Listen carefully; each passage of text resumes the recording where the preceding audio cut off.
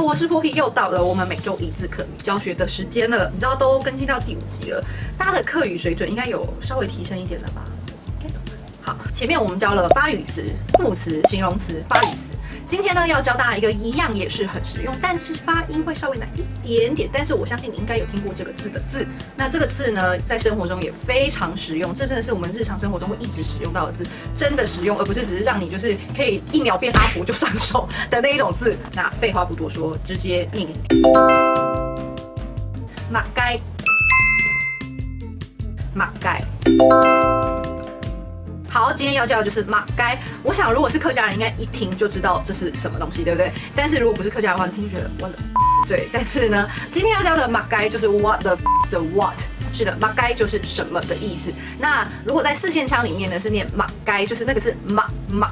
我我我不知道怎么跟你们形容，就马，它就是么啊妈，但是呢，它是一个很短促的字，然后稍微有一点力道的马马该该就是该该叫的该那个该。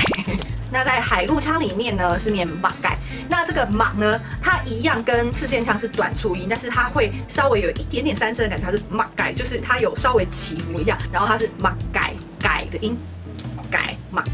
多 repeat 几次哦，好不好？那像很久以前呢，周杰伦也曾经在他的歌里面就是有唱走马该走马该，但是其实他的发音不太对，他因为他有点 不是四线腔，也不是海陆腔，因为四线腔的话呢会讲走马该，那如果说海陆腔的话会说走马该，所以我猜他应该是会听，但是不太会说吧。那当然不是只能问人家走马该走马该，所以说呢，我们现在就是要来讲例句喽。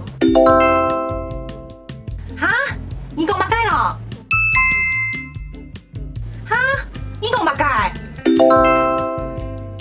对，以上就是我们今天的例句。那这个马该马该，它当然是活用的范围是很广了。像刚刚就是问人家说你说什么，那像在呃周杰伦的歌词里面是说做什么。那如果说你要讲什么东西啊，你可以说马该东西，或者马该东西。然后或者说如果你要讲什么屁的话，你也可以讲马该屁卵。或我不会讲，突然发现不会讲海陆像屁卵要怎么讲？屁卵吗？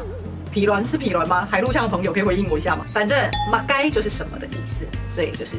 觉得大家要学起来的话，这是一个非常非常实用的字。如果人家跟你讲你听不懂的话，你就说马该，你讲马该，哎，你讲马该，呃，这样比较有礼貌。不要说啊，你讲马该，就是这是我们地方上的，比较熟一点的人啊，你讲马该呢，就是如果你要比较礼貌，啊，你讲马该，呃，有礼貌一点，好不好？来，再跟我念一遍，马该，马该，然后马该，马该。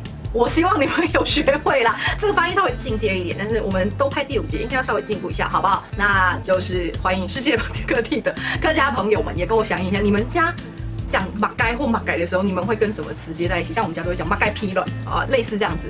然后再来就是说呢，如果你有其他想要看题材，也可以留言给我，然后可以去看我的网站，上面有很多化妆方面的教学排行榜、评比等等的。然后最后。如果这支影片你觉得有趣的话，麻烦帮我分享一下喽，然后记得订阅我的频道。就这样，拜拜。哈，你给我马嘎。